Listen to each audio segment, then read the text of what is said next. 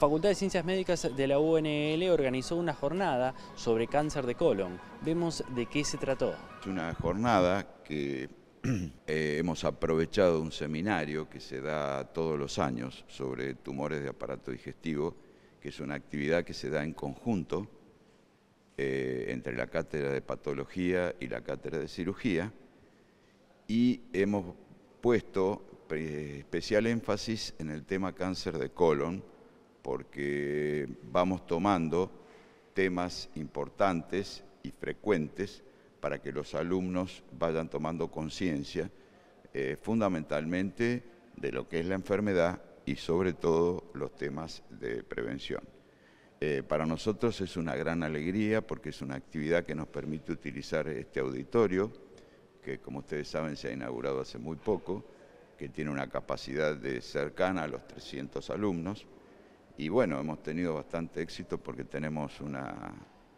una inscripción cercana a los 230 alumnos más o menos. Bueno, la charla está a cargo de varios disertantes. En primer lugar va a hablar el profesor Janey, que es el,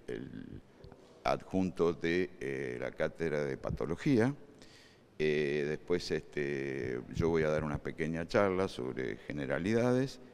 y por la tarde se va a hablar sobre todo de la parte clínica para el médico de atención primaria y después lo que se llama diagnóstico por imágenes, que es tan importante hoy en día para nuestra profesión.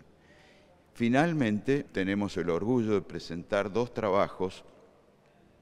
de eh, práctica final obligatoria que se refieren al tema y que nosotros consideramos relevantes y que van a ser los dos muy importantes, que han sido muy, muy buenos y creemos que vale la pena presentarlos a quienes vengan a escucharnos. En realidad, si de patología oncológica se trata hoy por hoy, el paradigma de la medicina ha cambiado de hace mucho tiempo esta parte, pero cuesta cambiar la cabeza de las personas, porque eh, antes la medicina era una medicina de diagnóstico y tratamiento, ¿sí? hoy está más eh, direccionada hacia la prevención y cuanto más precozmente las eh, enfermedades, estas enfermedades que son eh, tan destructoras para eh, los sujetos, las personas y la sociedad en general, este, puedan diagnosticarse precozmente, evitamos un mal mucho mayor que permitir que estas enfermedades hagan su recorrido que tiene que ver con la historia natural de las mismas eh, y lleguen a etapas en las cuales las personas realmente eh, sufren muchísimo. Em, hoy por hoy nosotros, eh, tanto nosotros digo como formando parte de lo que es este, la universidad y la salud pública en general, tratamos de diagnosticar precozmente estas patologías, sea cáncer de colon, cáncer de mama, cáncer de próstata, que son patologías, cáncer de pulmón, eh, son eh, patologías que realmente eh,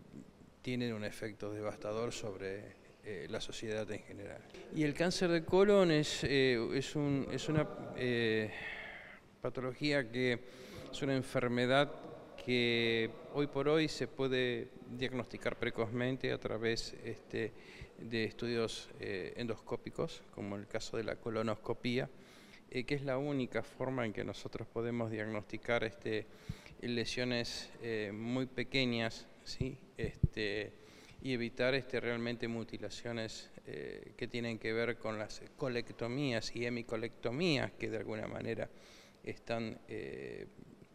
afectan por sobre todas las cosas este, a los sujetos y evitar que,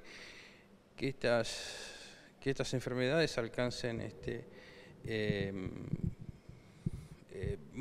alcancen estadios realmente eh, importantes en, las personas. Es decir, eh, las personas tienen esta posibilidad, nosotros necesitamos de alguna manera que tomen conciencia. ¿sí? Eh, no solamente nosotros como profesionales, los alumnos como futuros profesionales, sino a quien nosotros podamos llegar para que consulten a sus médicos clínicos, consulten a sus médicos, a sus gastroenterólogos, cuando tengan un cambio de hábito en el intestino, cuando eh, tengan, em, descubran que su materia fecal tiene este, signos de sangrado. Eh, hoy por hoy hay análisis de detección de, materia, de sangre oculta en materia fecal que nos permite de alguna manera prender una luz amarilla para que eh, nosotros podamos estudiar con más profundidad estas personas y podamos detectar lesiones a tiempo.